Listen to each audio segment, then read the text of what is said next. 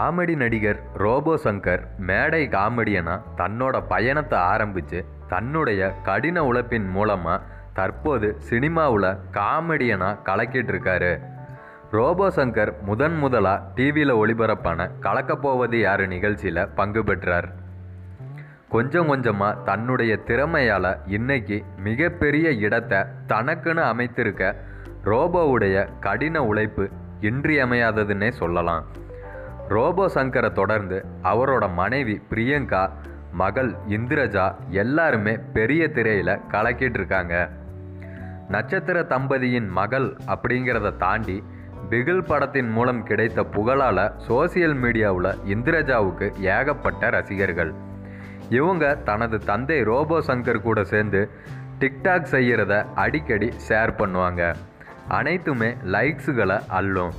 இந்த டிக்டாக் வீடியோவை பார்த்ததுக்கு அப்புறம் தான் இந்திரஜாவுக்கு பிகில் பட வாய்ப்பே கிடைச்சிது. ரோபோ சங்கர் தனது மகள் மற்றும் மனைவி குறித்து எல்லா மேடைகள்லையுமே பதிவு பண்ணியிருக்காரு. அவரோட வெற்றிக்கு காரணமாக தன்னுடைய காதல் மனைவி பிரியங்காவை தான் குறிப்பிடுவார். ரோபோ சங்கரோட திருமணம் காதல் திருமணம் தான் கடந்த ரெண்டாயிரத்தி ரெண்டாம் ஆண்டு நடன கலைஞரான பிரியங்காவை காதலிச்சு திருமணமும் செஞ்சுக்கிட்டாரு. அன்றிலிருந்து இன்று வரை தன்னுடைய மனைவியை எந்த இடத்துலையுமே விட்டு கொடுத்ததே இல்லை ரோபோ சங்கர்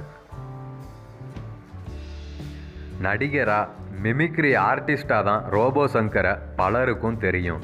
ஆனால் அவர் அடிப்படையில் ஒரு ஜிம் கோச்சர் ஐந்து முறை மிஸ்டர் மதுரை பட்டம் வாங்கியிருக்காரு. மிஸ்டர் தமிழ்நாடு போட்டியில் ரெண்டாவது இடத்தையும் பிடிச்சிருக்காரு. ஜிம் கோச்சராக வேலை பார்த்துக்கிட்டே மேடையில் மிமிக்ரி செஞ்சு குடும்பத்தையும் கவனித்து வந்திருக்காரு.